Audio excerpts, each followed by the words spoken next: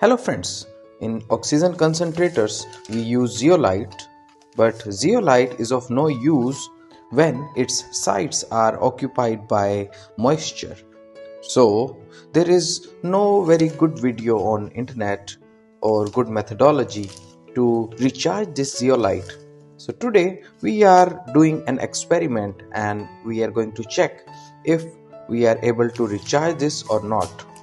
So let's begin. So i am opening this box.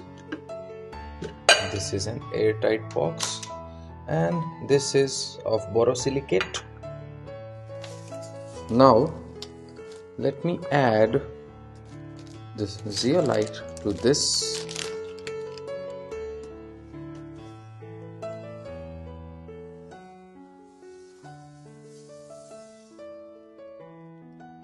so I distributed this evenly.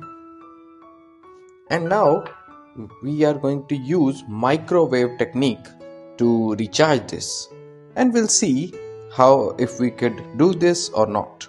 So if I take some of the zeolite and put it in water I can see no movement no bubbles because this is a sodium based zeolite so there should be some bubbles coming out of it so that we can say that we need to recharge this otherwise we will not get any oxygen by using this. Now I am going to use my microwave for this. So carefully we are going to use this. I place this in the microwave.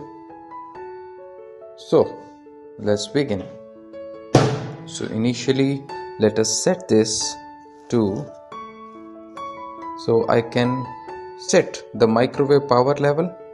And when I set this power level to 90 80 70 60 50 and then I can set the time 30 seconds.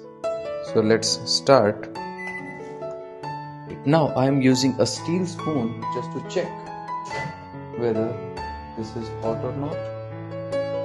And as you can see so I'm feeling a little bit hot at the bottom.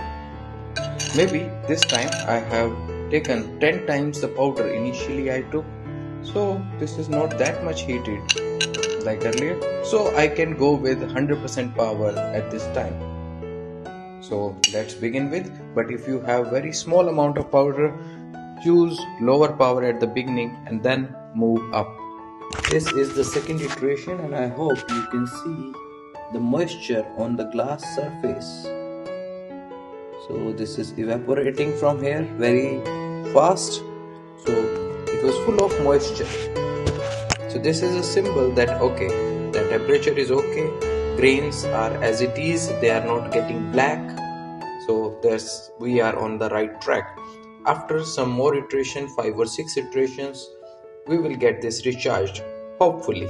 Let's see, see. the evaporating water vapors and as an example if we look at C my finger mark so that you can have a guess that water is evaporating out of this this is getting hotter. So don't heat continuously so I am heating it and then mixing it again so that they are evenly heated. You should wear gloves while doing this because this is getting this spot is getting hotter. This is not ordinary water which evaporates at 100 degrees celsius. Basically this is surface adsorbed water. So this takes about 200 to 250 minimum temperature to leave that surface. Up to fifth iteration i found that there are water vapors on the glass surface. So within one or two iterations it will get charged so let's look at it. How it goes. After this eighth iteration let's look at you can see a lot of bubbles coming out of it. So it means now the zeolite has been recharged. Still it is giving bubbles. So now yes we can see for sure this is recharged by now. So i think experiment is successful Take care, recharge your zeolite and get heavy oxygen concentration. after 8 hours of efforts I recharge this much zeolite for my big oxygen concentrator. So two big cylinders I can fill with them. I hope you enjoyed this. Take care. Have a good day. Some more points to be taken care are at the end of this video which I observed while doing this process